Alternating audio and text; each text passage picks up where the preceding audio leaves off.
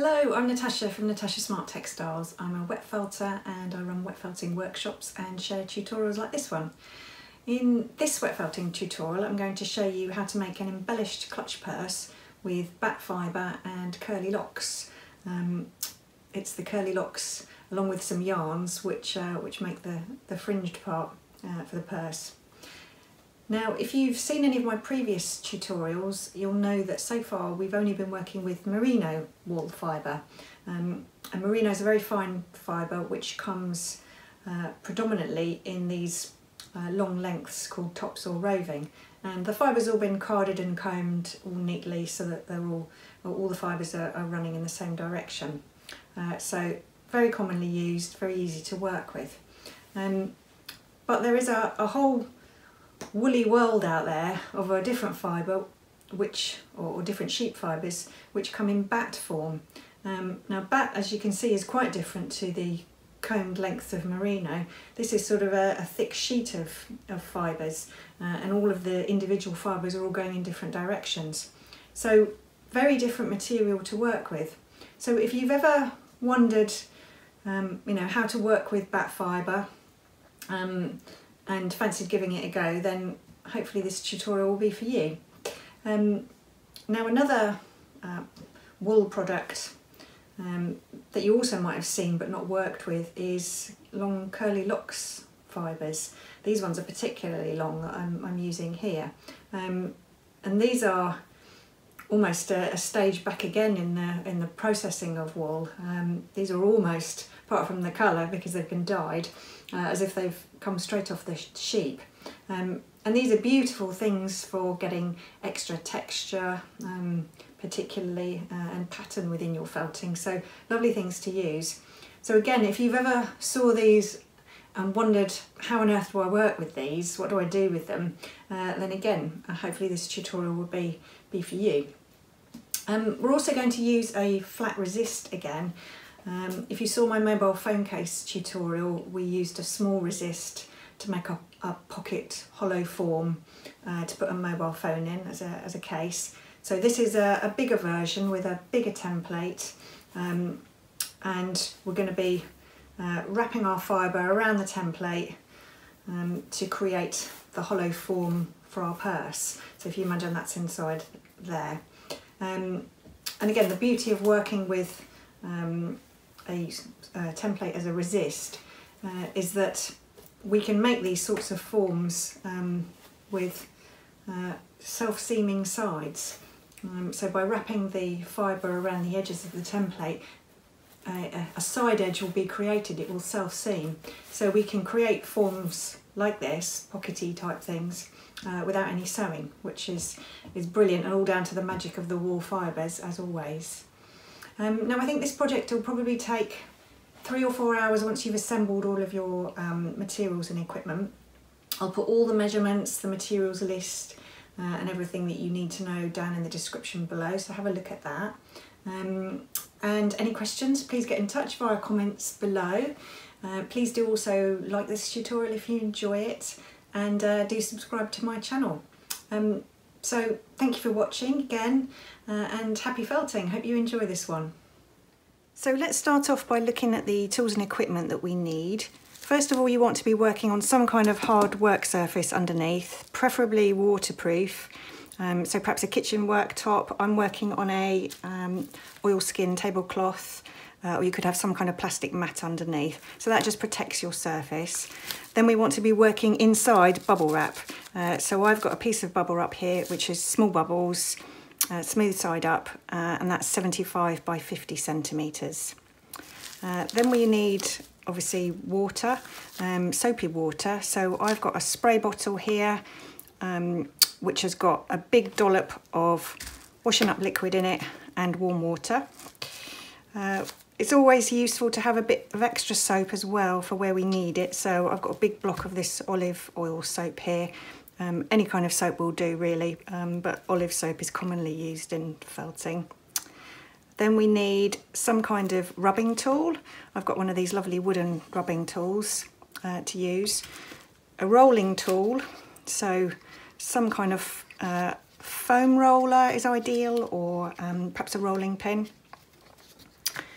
Um, we're going to need tea towels because things are going to get wet. Probably a big towel as well for, for drying off our purse later. Um, and then some other equipment like ruler, large scissors, a tape measure is always useful, um, and also definitely some scales. So they'll be coming to play in a, in a moment. Um, also a piece of plastic or spare bit of bubble wrap, just a small bit, uh, which will also be coming into play a bit later on. The other key bit of kit that we're going to need is a template to make our purse form around. Uh, this one's made out of thin packaging foam, uh, which is ideal. It's um, waterproof, um, fairly substantial and hardy.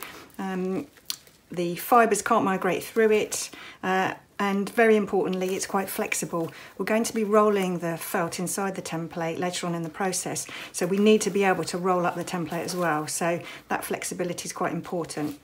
Uh, now this one measures 30 centimetres uh, in the length and 23 centimetres uh, in the width. And of course the other key ingredient is our materials. So um, I've got 50 grams of Finwool batt fibre. Um, now you could use any type of batt fibre. I'm using Finwool because it's what I commonly use, so I've got a lot of it. Uh, but any batt fibre will, will do. Um, I've got that 50 grams divided into three different colours because I'm aiming for a sort of graduated ombre effect uh, on the felt. So I've got 20 grams of this lighter turquoise and 15 grams each of the mid and dark blue. So that's our wool fibre. Then as decoration on top, I've got three different sorts of um, kind of slubby art yarns. Um, you could use as many as you like. Um, I've just raided my stash for colours that I thought went nicely together. So I've got two yarns that are this sort of thick and thin wool yarn. Um, I think the important thing here uh, again is that they are high wool content yarns because then I know that they'll felt in well uh, into the fibre. Um, this one actually, also a thick and thin yarn, but it's been made partly with bamboo, um, and which that gives it rather a nice sheen, uh, which I think is really lovely against the, the mattness of the, of the wool felt. So those are my two thick and thin yarns, and then I've also got a woolen silk mix yarn, uh, which again gives a really nice sort of sheen against the felt uh, in the end. Uh, so those are my three yarns that I've picked, um, and probably you'll need uh, about 15 metres in total of yarns. Uh, and then the final thing is uh, curly locks. Um, now these are hand-dyed uh, Masham sheep locks um, which are which are rather lovely. Um, these are very long locks and I think particularly for this project it's quite useful to have a long lock uh, rather than lots of short ones. I think it ends up looking more impressive in, because you've got the fringe. Um, so uh, these are particularly long, long ones, which are rather lovely. Um, and you'll probably need about 15 grams uh, or so of uh, curly locks to use. So before we start, let's just talk briefly about working with batt fibre, which is obviously quite different to working with, uh, say, merino tops or roving, which comes in big carded lengths. Um, bat fibre comes in sheets, and to work with it, you can just peel it apart or tear it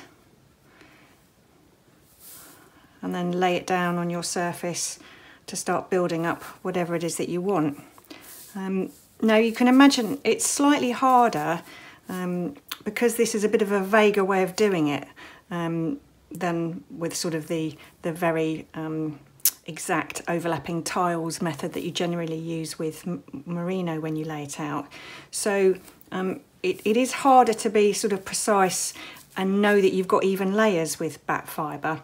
Um, so that's why I find that weighing the fibre is really essential so that you know, um, you know exactly what you're using. It doesn't matter so much if you're just making a flat piece because you can just lay it, lay it out and, and feel it um, and pat it to sort of check where you've got thick and thin bits. But for something like working on a template uh, where you're trying to get very even amounts on each side, it's better to weigh it. So what we're going to do here is um, divide all of our 50 grams up into quarters um, because what we're going to do on the template, um, we're actually going to do two complete layers on both sides of the template.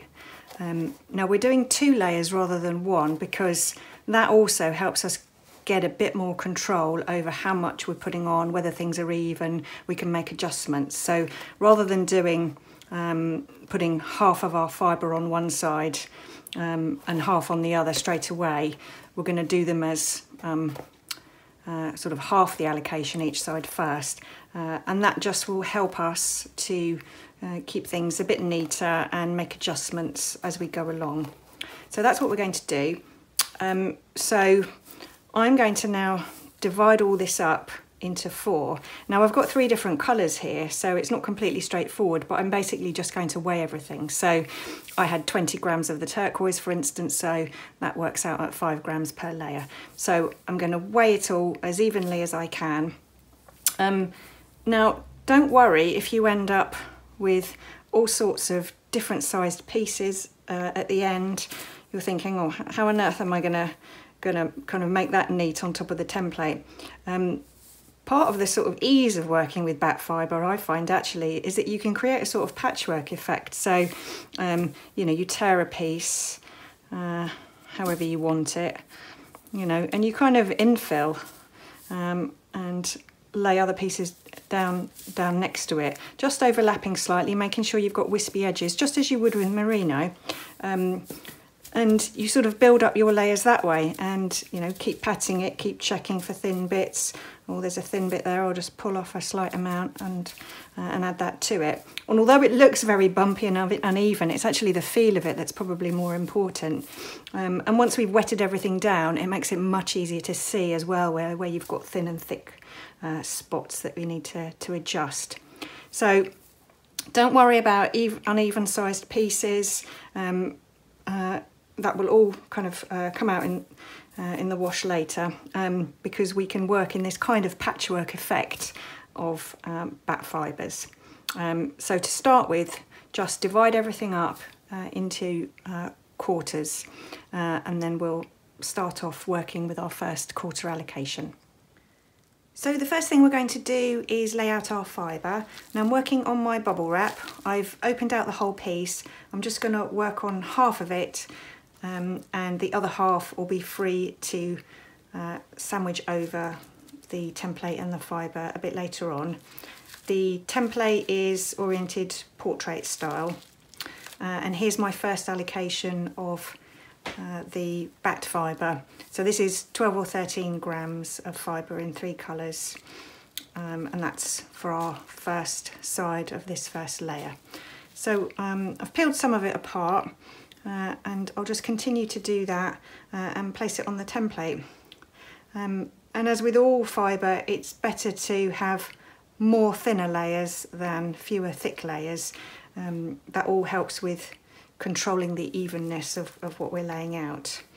So um, I've already kind of tugged this slightly into a perfect shape. I'm kind of going for bands going across. So this is my first one. Now we because we want to cover what will actually be the sort of very side edges um, of our template and our eventual purse, uh, we want to overlap the template by probably two or three centimetres uh, on all the edges apart from the top edge. Um, in actual fact, we're just going to stop short of the top edge. But everywhere else, we want to go over um, by two or three centimetres so that we get a good uh, overlap onto the other side. So I've put one bit of the blue down.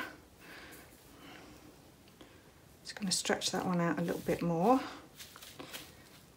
And we always still want to have nice wispy edges where fibre joins fibre. um, because again that all helps with the bonding. Now you can see here I've got a sort of odd thicker bit so I'm just going to look and see where looks a bit thinner. Well actually if I shift that over a bit I could perhaps just stretch that out and put that there and fluff it out. So I hope you understand what I mean about this uh, idea of laying out all the fibre as a kind of patchwork. Um, batt fibre is, is very different to work with, um, but it's slightly more uh, relaxed, I suppose, than with merino, where generally you're being very, very precise with your fibres. This is actually a bit more freeform, uh, which actually is quite, quite nice. Um, I've probably gone over a bit there, so let me pull that bit off and put that there. So I'm just sort of piecing, piecing the bits together. And also because I've got a bit more of that blue one, I want a bit more space up here. So I'm just gonna kind of scrunch that up a little bit. So in a way the batt fibre is, is quite forgiving in terms of layout and it's much, much quicker to do layouts I find than uh, working with merino. So all fibres have their different challenges, I think. Um, okay. And it's rather nice, you can just tear it into the shapes that you want and stretch it. As I said, I'm making sure that I leave a bit of a gap there at the top edge.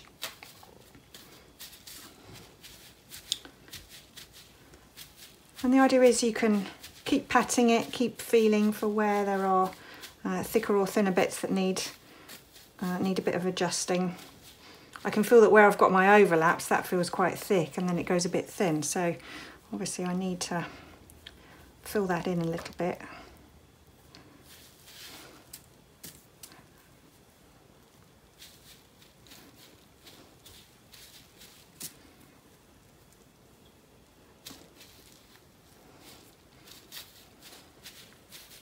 Okay. That feels pretty even to start with. So um, the next thing to do then is to wet the fibre. So with my trusty spray bottle, I'm going to give everything a bit of a soak. Now we're not actually going to be doing any felting rubbing um, just yet. The purpose of this bit of wetting down now uh, is actually just to try and secure the fibres in place initially until we've got all of our layers on. So it doesn't have to be completely soaked um, and ready for, for sort of rubbing. Uh, we're really just trying to secure everything. And as you can see, when you spread uh, or when you um, put water onto the fibres, they do kind of spread out a bit. So we're going to have plenty of overlap onto the other side, uh, which is just what you want. Okay, um, now to try and flatten uh, the fibres, because it all looks pretty bumpy and uneven at the moment, I'm actually going to fold over my other half of the bubble wrap I'm using my rubbing tool, which actually I'll give a spray to first because that always makes it um, uh, run a bit more smoothly. Just rubbing it across and the purpose of this is just to flatten those fibres down and to get the water to distribute um, through them.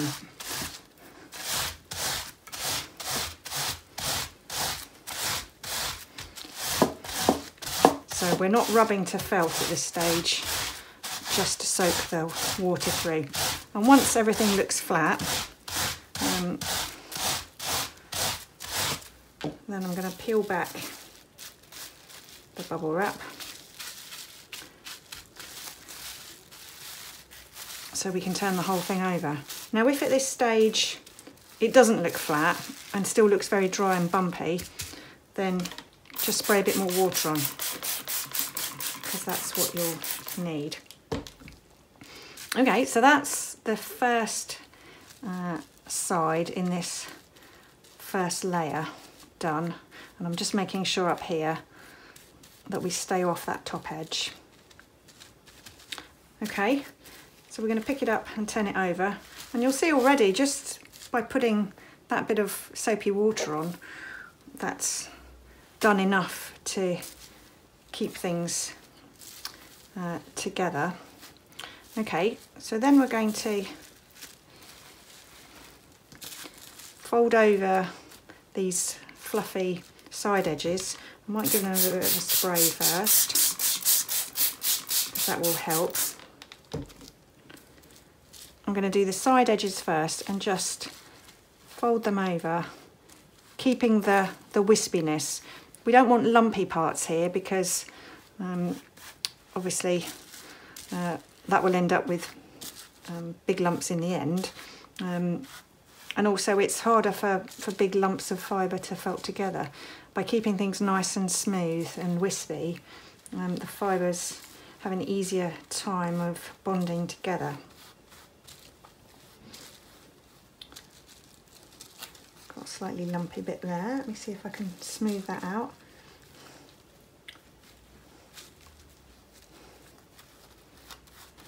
Okay, now that's the side edges done. Um, when it comes to the bottom, obviously you've got a bit of a fold overlap here. Um, so you could end up with quite thick amounts of fibre on the edges. So to sort of counter that, I'm going to fold that over. Still seems a bit wet, so I'll get uh, dry, so I'll give that a spray. And you can see where we've got this sort of fold here. In actual fact, if you fluff that out, we can thin it a bit, make it a bit more wispy. Fold it around and that gives a nice tight corner without a visible fold, which obviously is what we what we're aiming for. We don't want to have a big big lumpy fold there. So the fibres just with a bit of a spray of soapy water um, will hold together enough for you to, to do things like this to make quite a nice neat edge. Seem to have a bit of a lump there. Let me try and get rid of that. Okay.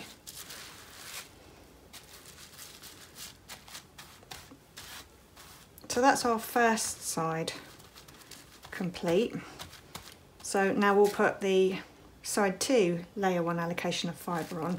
First thing I'm going to do though is dry my hands and also just dry this area where I'm going to put the fibre uh, because um, obviously working with uh, wet fibre becomes very difficult.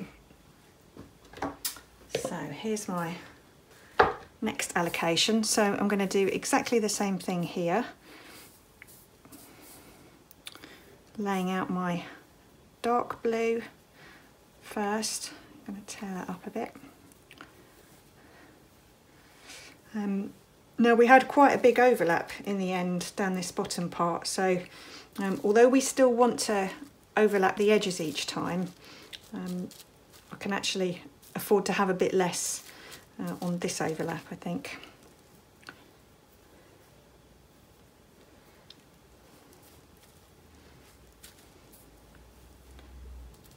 And again just sort of piecing together the, the different pieces of the batt fibre.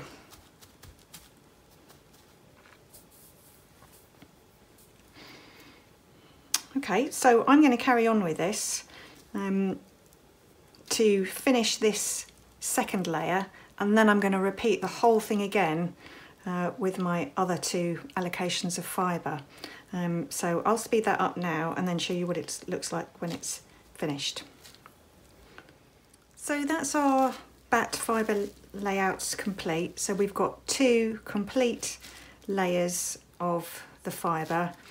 Um, now you might wonder, could we have just done uh, each side and done done a thick layer rather than two thin layers on each side?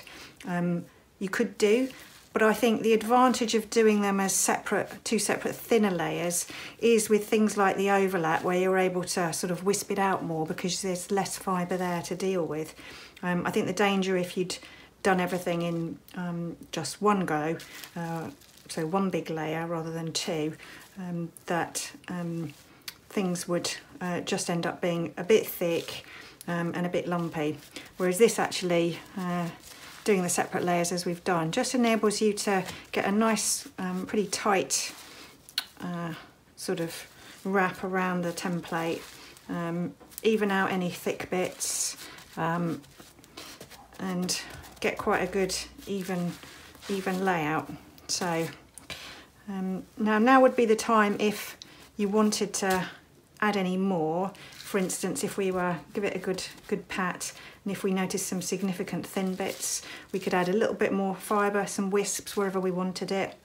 Um, if the colours of the fibre were really important, that they were precise, you can see here that um, you know I haven't got a clean line really going from the turquoise into the mid blue, but in actual fact, for this project, because we're going to cover the fibre with so many different um, yarns and the curly locks. That actually doesn't matter, so I'm not going to worry about it. But if it did matter, we could add some wisps to the design now, um, just to, to even everything up. But from the point of view of getting our base structure right, which is what we're doing here, um, I'm quite happy with that and it all seems nice and even and we've got a good thickness on.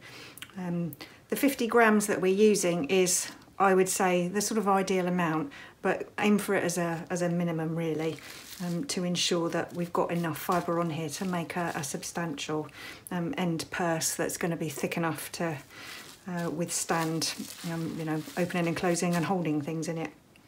Okay, so our layout of the fibre is done. The other thing that we're going to do before we add our decoration is to turn back the top edge. Um, now, the idea with that is, at the moment we've got quite a wispy thin edge, um, but if we turn it back by sort of a couple of centimetres, something like that. Then we'll end up with a much firmer, cleaner edge than this very wispy one. So I'm just fluffing out the edges because again, if we're folding it back, we want to be able to smooth it sort of invisibly on the rest of the fibre. Um, don't forget these side bits as well. So that's sort of a centimetre or two minimum in some places, um, you know, three or four centimetres in others, kind of depends how it's all spread out. But what we want is an even uh, amount or line kind of against the template. And we can just smooth that down. And obviously if things are feeling dry and not smoothing down, then give them a squirt. Um, the Soapy water I find always acts as a bit of a temporary glue, which is quite helpful. Okay, so I'm quite ha happy with, with that. We're sort of a centimetre or so off the top of the template, so let's do that on the other side also. Again, make sure things are wet and soapy. Spread out the fibre uh, to make it wispy at the top and then fold it back.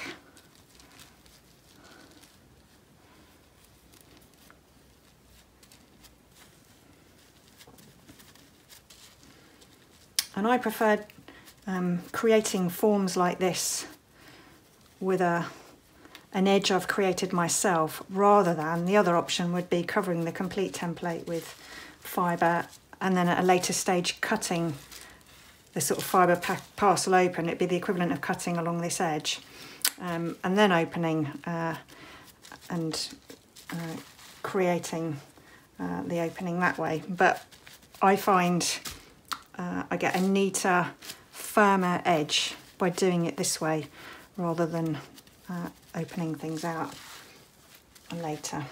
Okay, so that looks pretty good. I know it looks kind of slightly uneven, but that really doesn't matter at this stage. Um, it will all sort itself out later.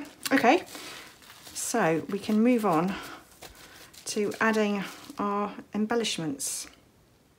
So with our fibre layout complete, the next thing we're going to do is add our yarns, which is our first stage of decoration. So I've got my three yarns here.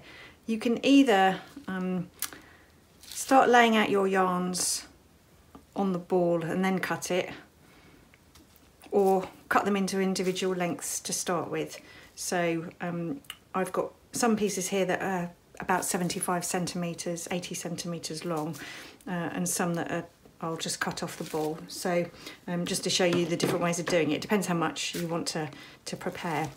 Um, so I'm going to start with one of these first, which is, this is this thick and thin wool yarn, which um, is 100% wool, so I know it's going to felt in. So what we're going to do is lay it on the template with at least seven centimetres, a couple of inches, um, off the end, which is our fringe part. So just lay it on. I'm going to give it a little spray and press down, which will hopefully help it just temporarily stay in place. Because the slightly tricky bit about this project is you've got to keep turning over the template to add yarns. Um, so we do want things to just be sort of pressed down enough that they will stay in place. So all I've done is laid it back up the other side of the template uh, and then got enough off the end. So obviously that's going to um, become our fringe. So what I'm going to aim for is a bit of a variety of different um, yarns coming off the edge there um, to give the fringe uh, a bit of interest. So I've pushed that down into the wet fibre, so that's pretty much staying there. Um, let's repeat with another one. Uh, and I'm going to go try and go in different directions, uh, alternate things a bit, just again to add interest and to avoid having everything in exactly the same place and uh, big lumps of yarns. So I'm going to try and avoid having too many crossovers as well um, because that just uh, makes things slightly harder to, to felt in where you're crossing over yarns. Okay, things are holding so far. And again, back up the other side, give it a spray. Now that one is a bit too long on that piece, so I'm just gonna chop that off. And we can also add in separate bits like this um, as well. So nothing is wasted. So I'm going to give a third go with this one. That in the middle.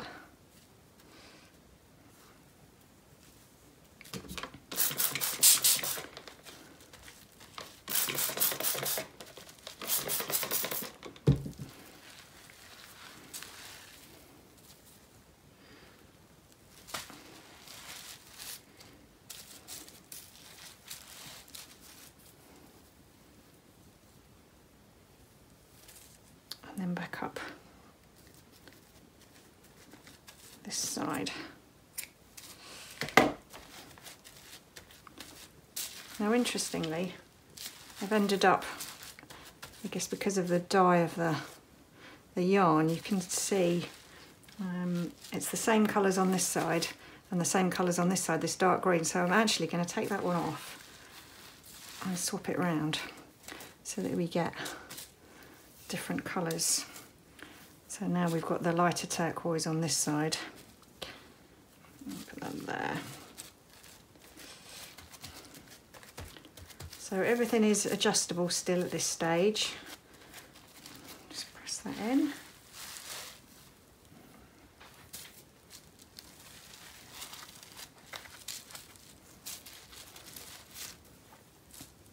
And it will become easier once we've um, built these layers up and got our locks on as well, then we won't need to worry quite so much about keeping the yarns in place. Okay, that's better because I've now got a um, more of a variation of the colours of that yarn. So I'm just going to use three wraps of this one. Um, so let's have a go with this silk and wool mix. And say work out what's easiest for you, whether having them already cut up into lengths is easier or you prefer just keeping it on the ball.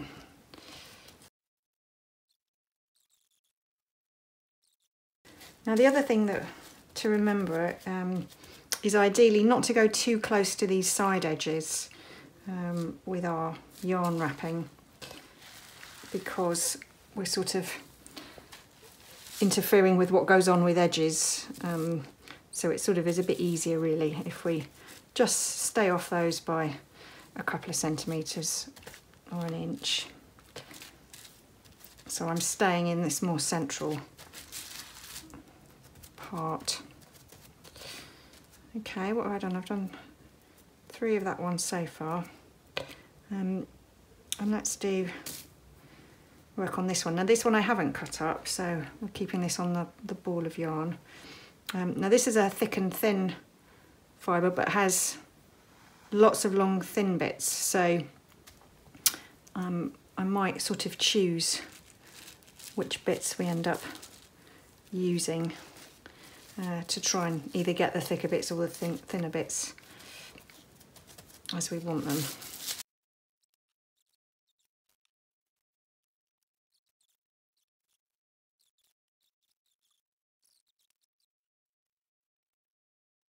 So you can see how we can build up the design with the yarns as much as or as little as you want really. And plus we're also building up the fringe um, with a good bit of variety going on there. And we will add more on top once we've done the locks as well. So let's move on to adding the curly locks.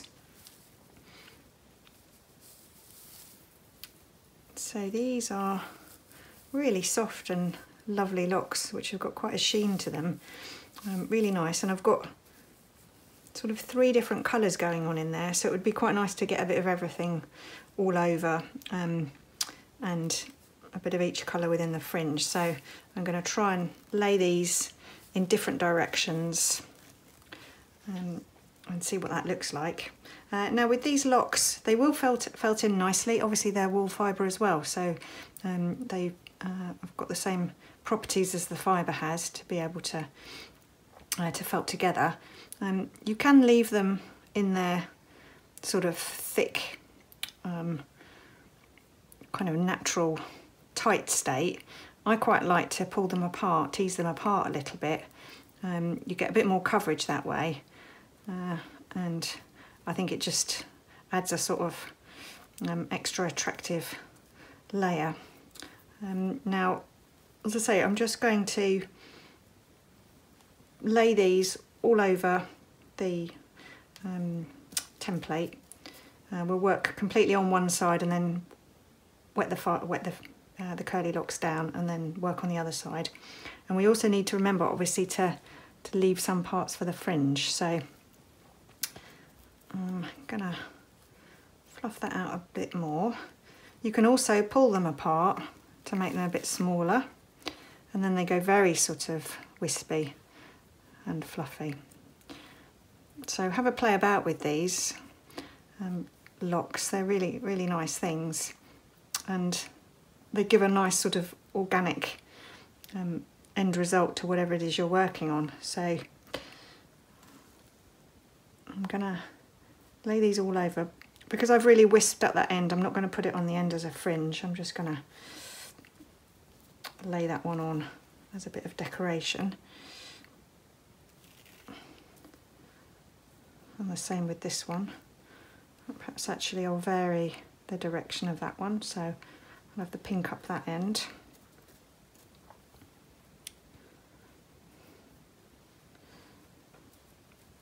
Okay, and then let's take some locks, and this time I'm not going to tease out that end because I'll use it for the fringe but I'll tease out the rest a little bit more. Um, and obviously it being kind of wispy uh, makes it a bit easier to felt in. So that part is our fringe bit and then I've opened out the rest a little bit more. And again, you can use as much or as little of the locks as you want to, just building up the design.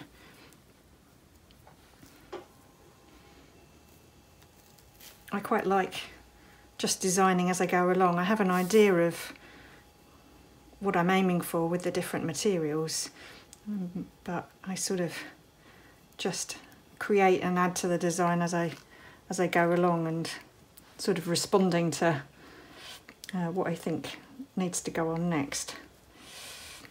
Okay.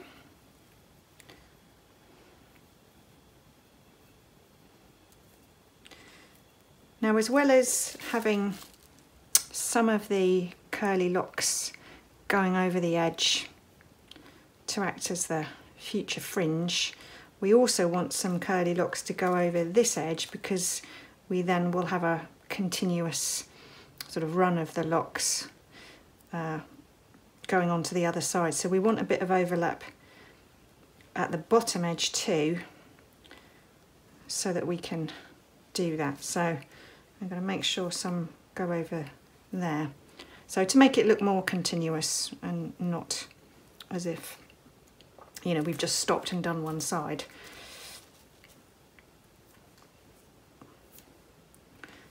Okay, so I've got some pink locks there, so I'm actually going to use that end for some fringe. Tease this bit out. There's a bit of sheep matter. Um, you'll find, in especially in these sort of hand-dyed items, and in fact in the in the thin wool fibre as well, there's uh, often bits of straw and all sorts in there. Um, but I try not to worry too much about it. Generally, once you've gone through the whole process, uh, these things have largely disappeared.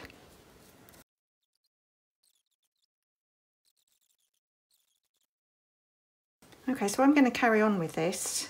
Um, I'm going to wet it down when I'm happy with it and then turn over to the other side and fold over these um, overlapping parts. So I'll uh, come back and show you what that looks like uh, when it's done. So that's both sides done with locks added um, and I've wet each side and just flattened them down each time just to try and secure them a bit. And I also had a little bit of overlap of the locks from the second side which I'm just putting back round to the first side now. So the final stage is just to add as many more yarns as we fancy on top of our locks, just as that kind of final embellishment. Um, and obviously to add a bit more into the, to the fringe to ensure we're happy. So I'm going to do that now and then I'll come back once that's uh, ready to move to the next stage. Okay, that's the final yarn layout finished. So I've ended up with at least another 12 or so yarns on the top and I've tried to vary um, the placement and the, the different colours of those variegated yarns. Um, so that's our layout finished. So now we're going to move on to um, rubbing the fibres to try and get things to start to felt together. So um, first of all though, that piece of folded up plastic or um, piece of bubble wrap that I mentioned right at the beginning. We're just going to insert this now in between the fringes just to stop them um, felting together or getting tangled up.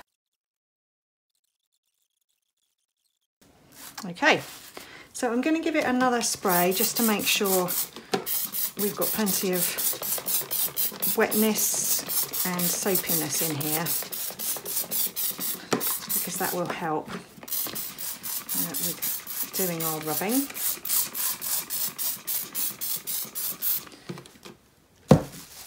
And then fold the template over so we're protecting everything. Uh, and then spray the rubbing tool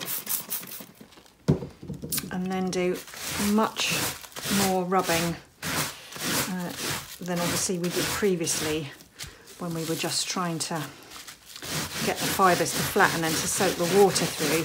Um, this is rubbing to really get all those barbs on the fibres to open up and start grabbing each other and bonding together. So we're probably going to need 15 or 20 minutes, I would say, of rubbing this um, until things are starting to, to lock together. Now you'll notice that I'm just going in one direction with this. Now that's because all of the yarns and locks are going in this direction so it makes sense to keep the rubbing in this direction to avoid disrupting the fibres. If we were going that way you can see how we might end up moving, shifting the fibres left to right, which actually we don't want. We want to keep them in these um, sort of long, straight vertical lines going this way along the template. So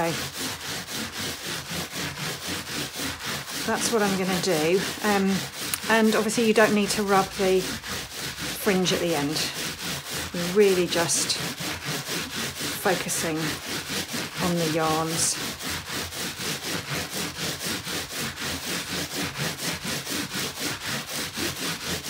Now that's only had a, you know, a minute or two. Let's just see how things are getting on under there. So if you run your finger across the fibres, you'll be able to spot and detect movement. Now you can see the yarns are still moving very much. Um, but I can already see that those curly locks are already starting to um, to felt in. So that's great. So they're felting to the um, to our back fibre. But we also need to get these yarns felting in and they will be trickier than, than the, the locks and fibres will. So we've just got to keep going and make sure that we've got plenty of soapy water in here to do it. So I've only been rubbing probably so far for, for five minutes.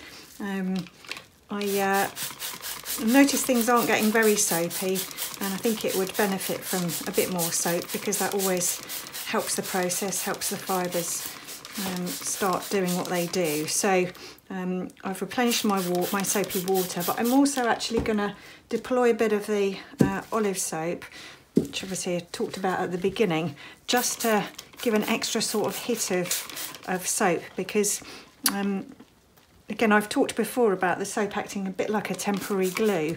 And what it um, can do actually which is quite helpful is almost stick things like the yarns in place just sort of temporarily which seems to help um, to then encourage them to stay in place. Um, it's almost acting a bit like uh, as I say temporary glue. So, because these yarns are still mostly still moving about, so they need a little bit of extra help. So I'm gonna add extra soap to this, just with my hands. Um, if you like uh, grating, grating up soap, some people do, you know, you could just sprinkle on some soap. So I'm adding quite a bit more uh, soap. You can see that's much more lathery now. Uh, so whenever things are not seeming very soapy or seeming a bit dry, um, it will always aid the process and make it more successful having a bit more water and more soap. So there are always things you can do in your felting if things don't seem to be quite working as you'd want them to. So that is almost helping to stick those loose yarns down a little bit.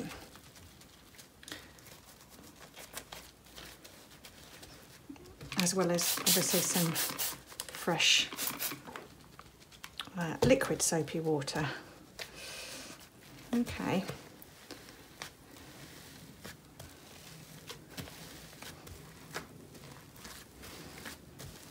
but some things are already working. I can see that uh, in some places the yarns are quite, uh, quite well stuck in place. So it just needs more work. So that's a bit of extra soaping up just to help things along. I'm going to rub a bit more on this side and then I'll um, add soap to the other side as well. You also might be wondering why I haven't used net to work through for rubbing. Um, I know on previous tutorials using merino fibre I have um, used net. Um, now I find with net that especially when you've got a lot of embellishment um, you have to be really careful about the embellishments felting to the net when you start rubbing it. So sometimes, and I think I'm coming to the conclusion actually more of the time, um, it's better to just use a piece of bubble wrap um, or a piece of thin plastic on top because then you don't get that issue of your yarns and fibres and everything felting to the net. So that's why I'm not using it today. And of course you don't need to use um, you know a specific rubbing tool like this either. You could just use some kind of kitchen cloth, um, soapy and soaked and rub that across either. Um, but in order to sort of maximise effort, um, over the last few years I've, I've realised that these tools actually are a, are a godsend really to help um, increase your hand surface area, um, to increase agitation because it's a ridged surface, um, and it just makes the process quicker and more effective. So, as a bit of a time saver, uh, I always use these rubbing tools now.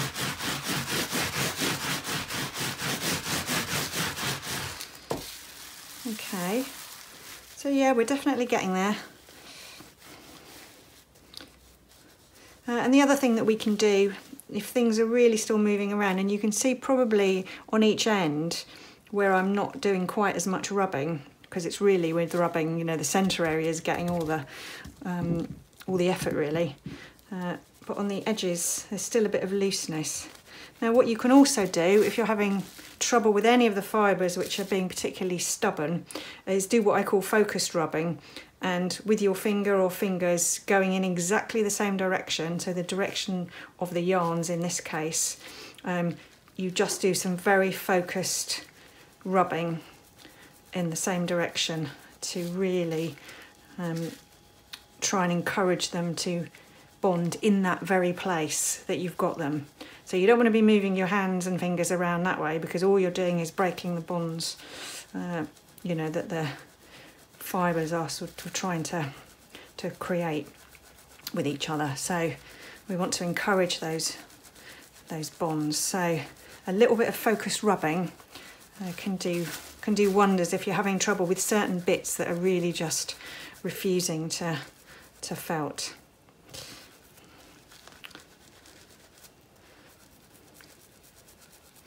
And of course your other option, which I do sometimes do when you get um, things that are particularly tricky and just refusing to play ball um, is uh, use a felting needle. Um, that's obviously a really good way of then forcing the fibre below and the yarn on top to bond together. Um, so just a few stabs with a felting needle is sometimes all it takes just to get something, just needs a helping hand to, to start to bond in. So, yep, it's going to need more, more rubbing, but um, I think initially I just wanted to get some soap on there. So I'm going to turn this over. So I'm going to give this side a good soap up too, uh, and then carry on rubbing. So that probably has worked out at 15 or 20 minutes of rubbing through the bubble wrap um, in the end. Um, I've also been doing a little bit of rubbing with my hands, uh, particularly around these side edges. I just want to make sure that that's, uh, we get a nice tight fit there against the, the template. Um, and pretty much everything is staying in place. There's a tiny bit of movement, um, but I think um, because we're now going to move on to the rolling stage. Um, you know, hopefully that will be sorted out and fully bonded by the time that we've we've done that. So I've given everything a really good soap up again before we move on to rolling. Um, replace the bubble wrap and we're now going to roll our package. So I've got this rolling tool, just a foam tool. I'm going to just roll up the fibre wrapped template. This is why it's important to have a flexible uh, template. And then I'm going to, to help with the grip, roll the whole lot up in a tea towel. And that helps keep everything together. So what we're going to do is 100 rolls, uh, sort of, and out and back counts as, as one roll. Um, so we'll do 100 of those, uh, then unwrap the package and uh, see what things look like. So that was 100 rolls. So I've unwrapped it. And we just check it, check everything looks all right.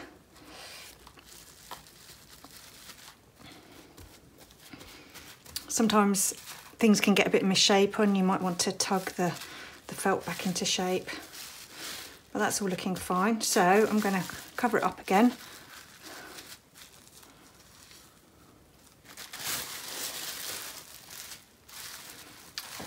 Turn the package 90 degrees clockwise. Roll it up again and do another 100. And I'm going to carry on until I've done 400. Um, each time I've done 100 rolls, unwrap it, just check everything's looking all right, uh, and then turn it 90 degrees and roll it up again. So I will carry on with that. So we're back to the beginning again. So I've now done 400 rolls on each of the four compass points. I can already feel um, the felt becoming much thicker and hopefully these yarns are all starting to get more and more secure. So that's 400 rolls done and what we're going to do now is turn over the package and do exactly the same, another 400 rolls on all the compass points on the other side. And all of that agitation will hopefully bond everything together uh, pretty well. Okay, so I'll turn it over and do my next 400. So that's our felt after 800 rolls, 400 on each side. Um, things are definitely feeling a bit thicker and um, much more bonded together. I've still got the odd little fibre that's perhaps or yarn um, that's still got a slight bit of movement, but um, I think on the whole, that's pretty good. So I'm just been giving it a little bit of a rub with my hands, um, making them very soapy, uh, just to, again, add a bit more agitation. Uh, but I think the uh, the extra level of agitation from the rolling has, has done the trick. So what we're going to do now is take the template out um, and measure and cut our flap. So we'll get rid of the that extra bit of plastic and also the template.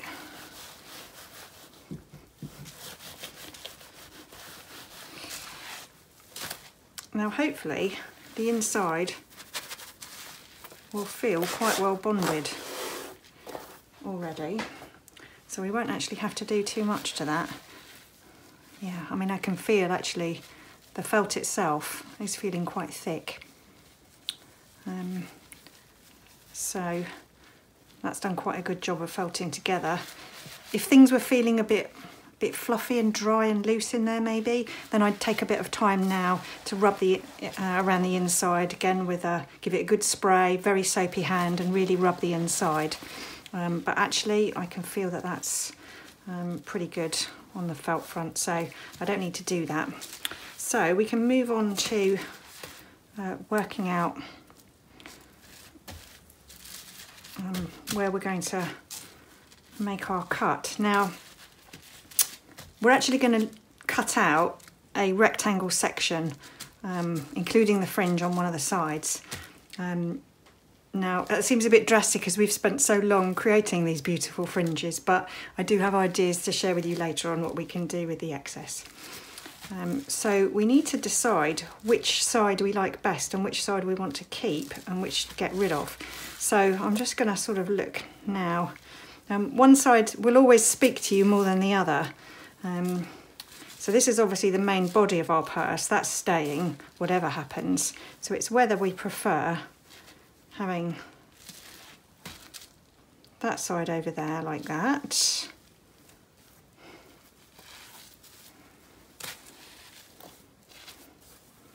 Or that side over there like that.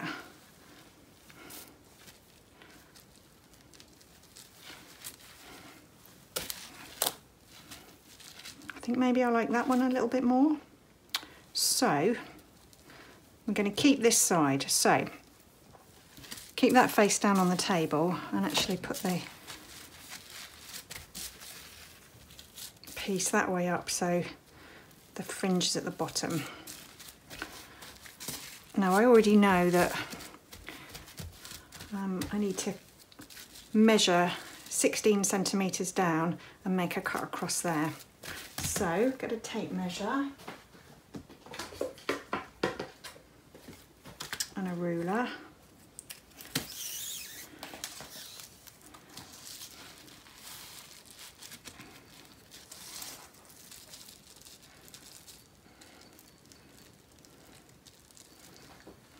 Okay. So I'm going down to the 16 centimetre point, creating a, a line, and then I'm going to cut up the sides and across. Um, now you might be wondering how on earth do you make a line on, on wet felt? Well in actual fact we can create a sort of temporary indented line uh, using a ruler. So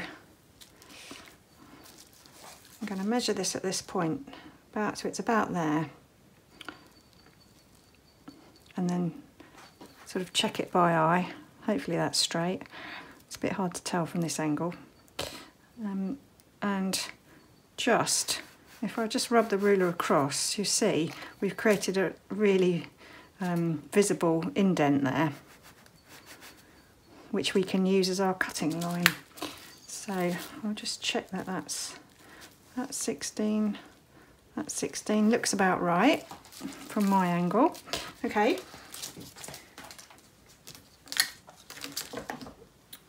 And then using, you'll probably want bigger, you know, big scissors for this as opposed to sewing scissors. We're going to cut up this side. Now, the thing to remember actually is, um, at the moment, everything is really in a sort of pre-felt stage, really.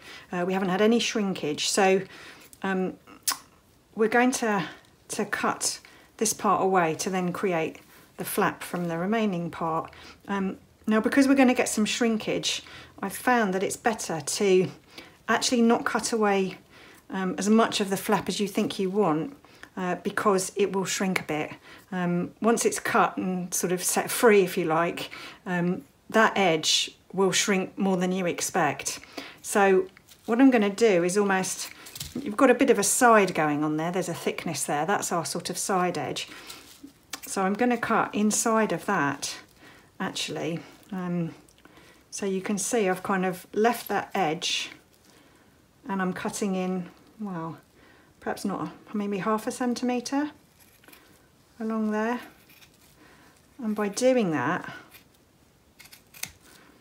although it looks like a big curled edge right now, and looks like there'd be too much there, in the end, that will create a nice flap.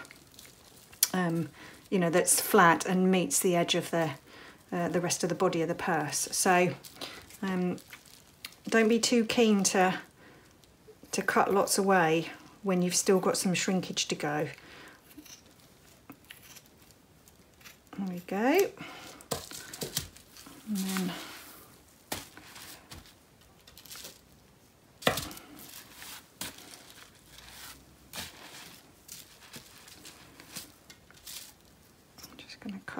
My indent, which I can see, so that's all right.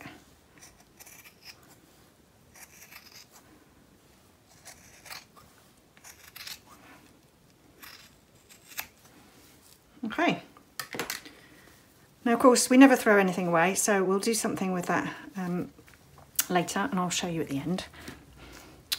So there is our purse. If we fold that down, that gives you more of an idea of what it's going to look like in the end.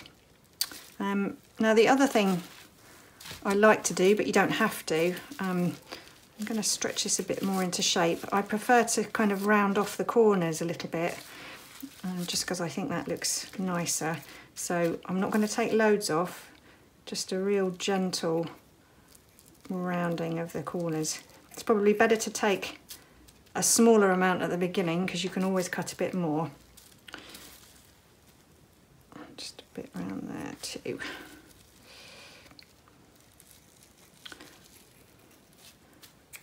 And the nice thing about cutting the felt at this stage is that these cut edges, because we've got the shrinkage to go, um, won't look like raw cut edges by the end. They've got time to sort of firm up a little bit, which is what we want. Okay, so that's a bit nicer looking. And you can see at the moment, if I flatten out that whole side, it actually extends beyond the sides of the purse, but that's going to shrink. So we need that to leave that little bit of extra there. Right, so that's, that's ready. Um, the next thing we're gonna do uh, is rub these edges because of course these are raw at the moment and we need to firm them up a little bit. Uh, so I'm going to spend a little bit of time just rubbing them with the usual wet and soapy hands just to firm them up a bit.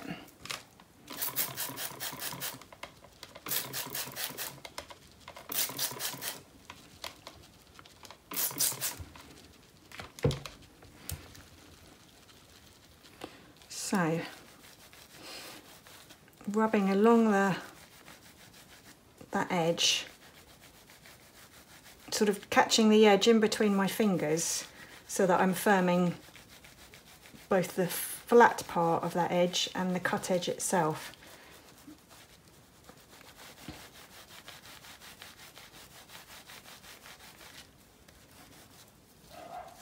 And it doesn't take long just to give them a bit of a rub so that they're not don't go completely sort of raw and fluffy. What we want is slightly firmer, thicker edges.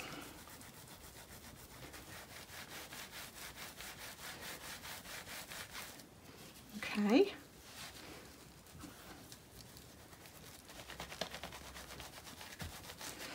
And then also, obviously on these side edges, so again, that's something where sort of you can catch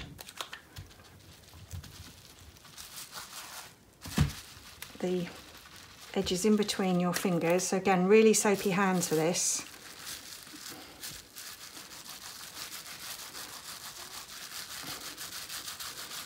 Just to create, you know, firmer, not sort of fluffy cut edges. And we don't need to worry really about that top edge because obviously that was firmed up quite a long time ago in the process. So again, I'm sort of just rubbing them in between two fingers and I've got another finger sort of along the top. And already you can see that's created a nicer shape. So you want to rub all those edges for a few minutes until they seem bit firmer. So that's our purse all rubbed and rolled. We've cut our shape. So now we need to move on to uh, fulling the felt, um, which is where it gets its shrinkage, um, which is what gives it its stability uh, and strength. So we're going to be throwing the uh, felt loosely on the work surface, um, probably for about 300 or so throws, but in groups of 50. And each time I'm going to check progress, reshape it, um, and uh, to keep an eye on, on how it's going on. So let's start that. So it's just loosely picking it up. In actual fact, what I might do first, because it's very wet, um, so I can see that I'm going to get a face full of soap if I start throwing this. So I'm just going to squeeze out a bit of the water.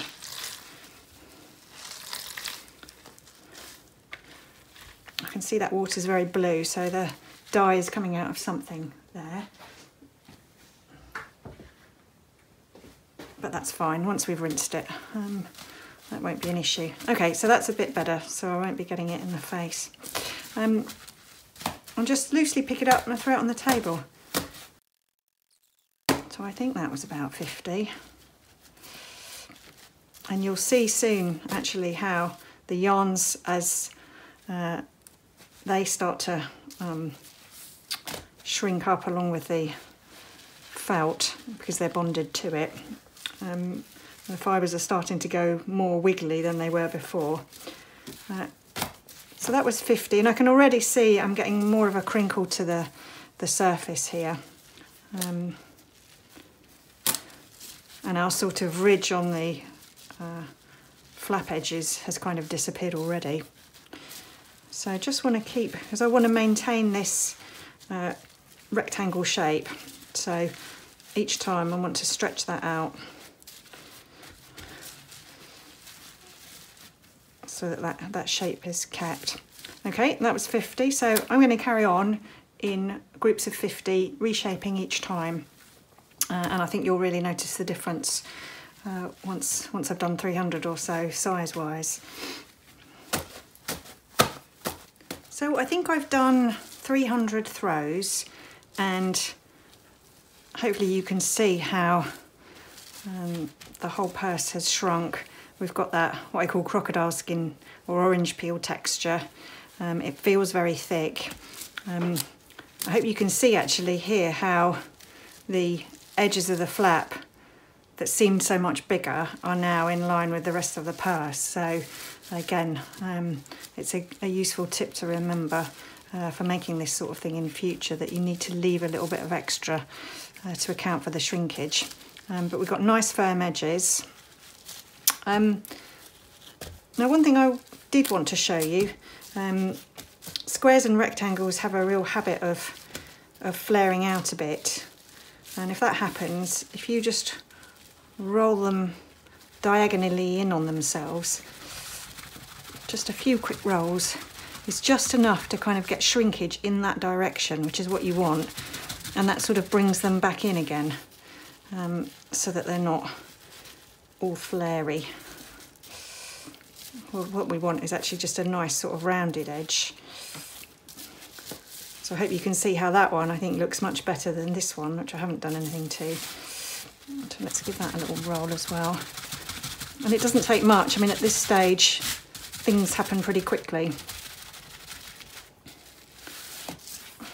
So you can make very small adjustments to sort of stretch things, straighten things.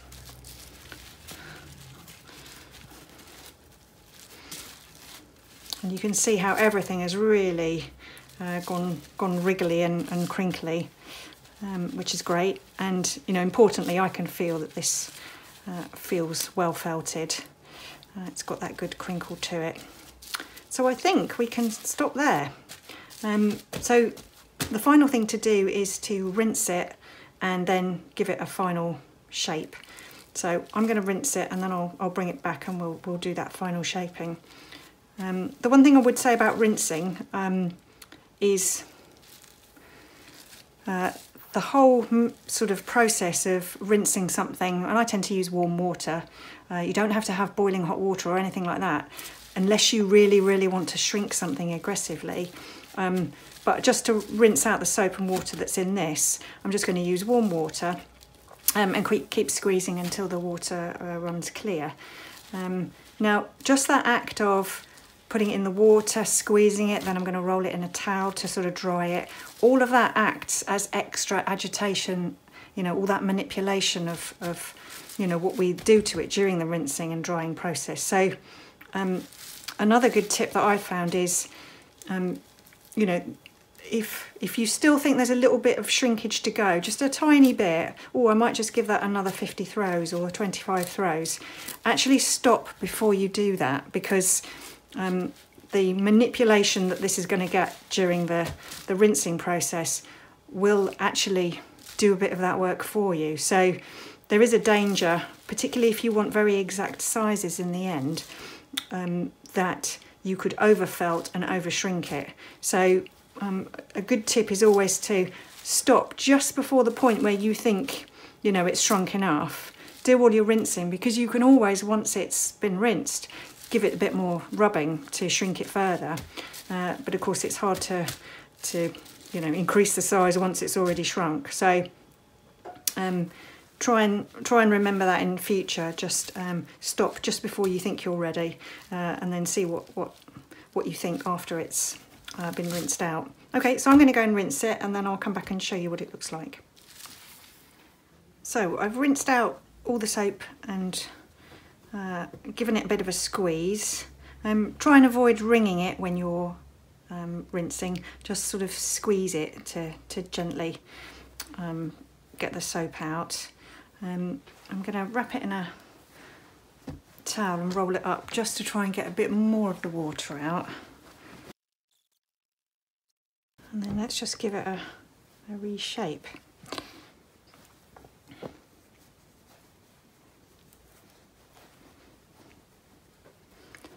Now obviously I did 300 throws with this, but you know your piece will vary depending on what fibre you're using.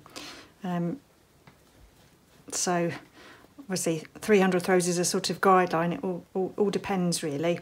Um, but once things seem quite thick and well felted and it's got that texture to the, uh, to the surface, then you can sort of safely stop, I think. Now there are a few other things we need to do, like trimming the fringe down, uh, because I think it'll look better not to have lots of very uneven looking uh, lengths and um, and also I think to to probably stop them before the edge of the uh, of the purse. Um, but I think I'll leave that until it's dry. So I'm going to leave this to dry uh, overnight. And just leave it lying on a towel or on a radiator and come back tomorrow uh, and we'll do sort of the final final touches to it. So here's the finished purse. I did a bit more shaping with my hands, uh, just rubbing along the edges just to get straight edges. Um, and then I left it to dry overnight on a radiator. Then I ironed it once it was dry uh, with a steam iron. And I always think ironing felt just um, smooths out the fibres beautifully and, and just finishes it off nicely. So uh, it had an iron. Uh, then I trimmed the fringe just so that the edges didn't go beyond the bottom edge of the purse as that sort of seemed logical to me. Um, the final thing that I haven't done yet, what I will do is sew on some sort of uh, magnetic clasp to the inside so that it closes. So that's our finished purse. Um, now, be interesting just to compare um, sizes with our original template. Um, if I open it out, you can see we had quite a bit more shrinkage actually in the length than we did in the width. Um, I've probably got about 25% shrinkage going that way. Um, and I put that down to the fact that this was an open template. So in the early stages, while it was the felt was still in the template, um, actually more uh, shrinkage could go on in that direction than could go on in this direction uh, because the felt was obviously um, hampered by the fact that there was a template inside. So I think that's why we've ended up with more uh, shrinkage going in that direction. So uh, yeah, just an interesting point to note really. Um, and the finished size has ended up being something like uh, 21 centimetres across by 14 centimetres down. That's with the flap um, folded down. Um, now I did say that I would give you some ideas about what we could do with that extra piece of felt that we took away. Um, and I've got a couple of examples to show you. Um, this was a previous purse that I'd uh, made, so exactly the same size, exactly the same sized rectangle extra bit. Now with this one, all I did was, because the felt, by the time we cut that piece off, uh, was already quite a well worked pre-felt if you like. Um, so all I did was gave it a good rub around all of the edges to sort of make them nice. I also actually cut the fringe off, which was a bit of a shame, but I couldn't quite make it work with this design. Uh, so I cut that off, rubbed, gave the edges a good rub. And then all I did was throw the felt for something like 200 throws. Because it's so small, that was enough actually to, to felt it. Then I've uh, left it to dry, ironed it and ironed a fold in. Um, added a little clasp uh, and that works quite nicely as a uh, sort of pin or needle case. So that was one idea. Um, and then what I actually did with the piece from this purse, um, I made a sort of mini-me purse. Uh, now with this one was slightly different. I kept the fringe. Um, and if you imagine, we're talking about a piece a bit like this. So what I did was I folded it together um, in half, kind of that way. Uh, so I still kept the fringe at one end um, and I sewed the edge, the side edge and the bottom edge together. So again, this is a piece of kind of heavily worked pre-felt that I was working on. Um, so if you can imagine, I ended up with uh, a pouch a bit like that, where I'd sewed up the side and bottom edges. I uh, then really, really um, worked on those edges to try and felt them together. Um, now the reason I sewed it first was because this was was pre-felt, um, it probably needed a bit of a helping hand really to try and felt together um, because it had already you know been partially felted. So by just sewing along the edge or the edges, um, that just gave it a little bit of help. And then when I was rubbing it, um, you know, really putting sort of pressure along the edge, um, that just gave it a helping hand to encourage it to, to felt together. And of course, you can't see the stitches afterwards, they just sort of disappear into the felt. So um, that's always an idea of things that you can do if you want to sort of change what you're working on.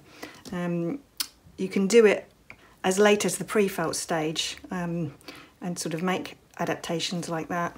Um, probably not much after that, otherwise you're then into the realms of just having a fabric that you sew together.